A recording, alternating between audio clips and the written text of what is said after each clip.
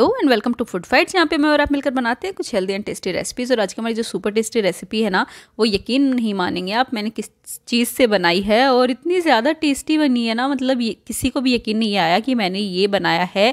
Left over रोटियों से, जी हाँ लेफ़्ट ओवर रोटियों से मैंने ये बहुत ही टेस्टी मसाला चीला बनाया। उसके लिए देखिए मेरे पास यहाँ पर चार रोटियाँ बची हुई थी तो इन्हीं को लेकर मैं ये रेसिपी बनाने वाली हूँ और अब जब एक बार आप ये रेसिपी बना लोगे ना, यकीन मानो हमेशा ही ये बनाने की कोशिश करोगे और आप चाहोगे कि रोटियाँ जो हैं वो बचें और आप ये रेसिपी बनाओ।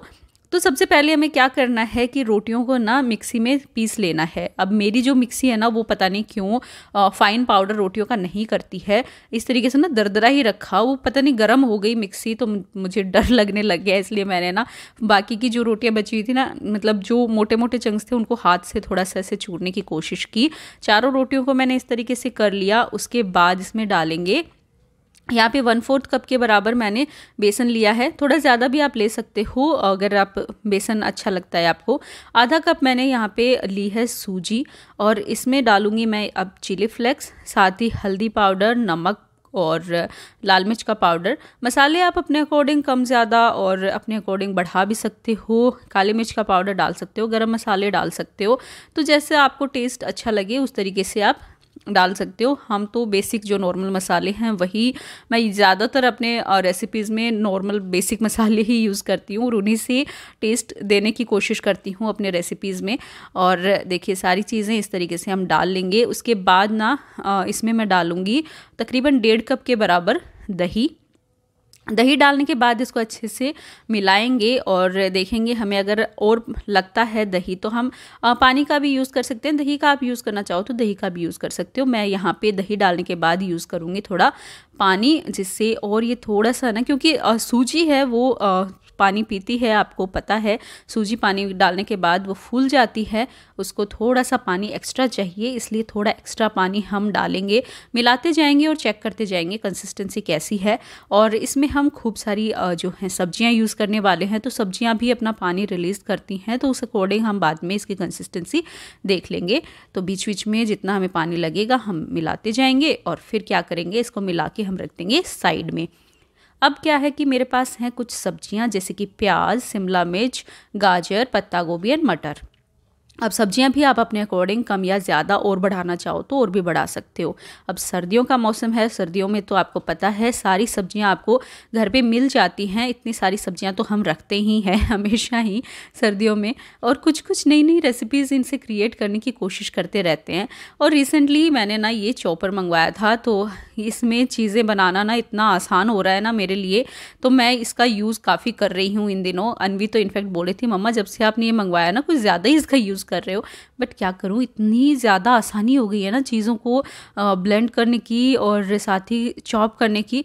बहुत ही ज़्यादा इजी है इससे करना। तो इसका कोई मैं प्रमोशन नहीं कर रही हूँ बट मैं बता रही हूँ, अगर आपको भी मेरी तरह कुकिंग का शौक़ है तो ऐसी चीज़ें ना घर में होनी चाहिए।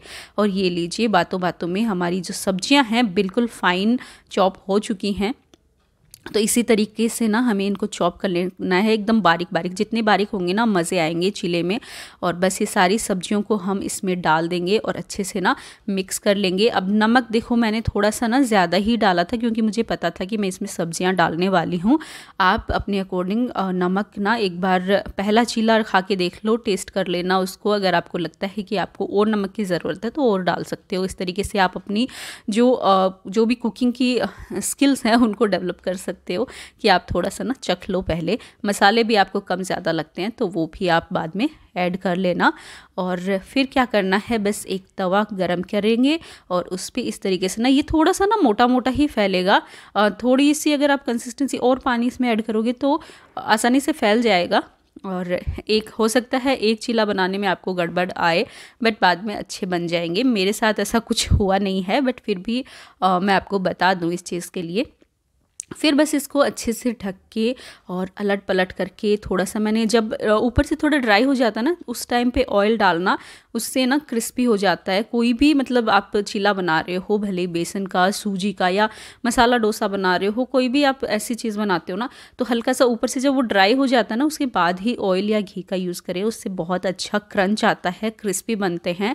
और ये लीजिए अलट पलट करके हम इसको दोनों तरफ़ से बहुत ही अच्छा सा, कुरकुरा सा सेक लेंगे और हमारा जो टेस्टी सा चीला है ना बनकर रेडी है। ये देखिए एक पहला मैंने बना लिया था, ये दूसरा वाला है और इसी तरीके से सारे हम बना लेंगे। और ये आ गया है हमारा टेस्टी सा लेफ़्ट ओवर रोटी से बना हुआ खूब सारी सब्जियों वाला चीला जिसको आपको अभी टेस्ट अनवी करके बताएगी। और ये मैं कैचअप के साथ खा रही हूँ। आप चटनी, दही किसी के साथ भी ले सकते हो। अगर रेसिपी अच्छी लगे तो प्लीज़ इसे लाइक करना शेयर करना और मेरे चैनल को सब्सक्राइब ज़रूर करना। ताकि ऐसी टेस्टी टेस्टी रेसिपीज़ आपको मिलती रहें। Thank you